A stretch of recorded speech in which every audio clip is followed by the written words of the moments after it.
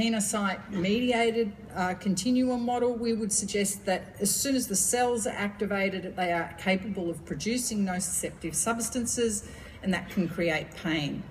So we see this most commonly in athletes who have some sort of mechanical compromise to the tendon, that is, they've had some time off because of the off season, they've had time off because of an injury, they've had some sort of unloading event where the tendon becomes mechanically weaker.